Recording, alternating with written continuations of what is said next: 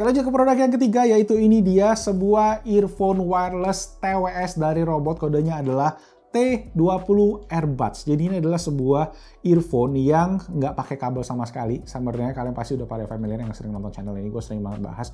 Dan dari segi desain sendiri guys bisa dibilang ini mirip sama kakaknya atau adiknya bisa dibilang Akom AirDots juga. Jadi dari segi desain kurang lebih sama. Dan kalau kalian uh, pengen cek gue udah pernah bikin video unboxing dan reviewnya juga. Yang nanti gue taruh aja di atas.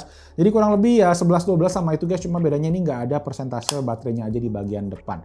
Nah untuk segi kualitas suara gue udah tes udah oke okay banget.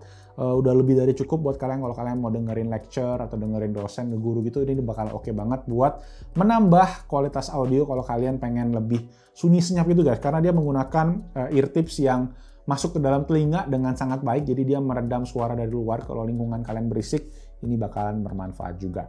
Oke, untuk baterainya guys dia bisa dipakai sampai total 16 jam pemakaian jadi lebih dari cukup dan kalau kalian pengen ngecas tinggal dimasukin aja ke dalam case-nya, tutup dia langsung ngecas dengan cepat.